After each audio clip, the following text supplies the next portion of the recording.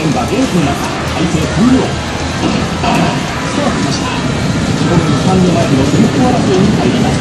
直後から山口式の顔ダッシュそして相川隆2番手を使います BB ガンダム内コースこの後は松本さんが500ガンダムでハンド顔ダッシュ中段にアンドラゲットそしてその後は天然の状況戦勝でいきますガンダム直後に画面パッション4分側から1コースに入りました山口式先頭そして BB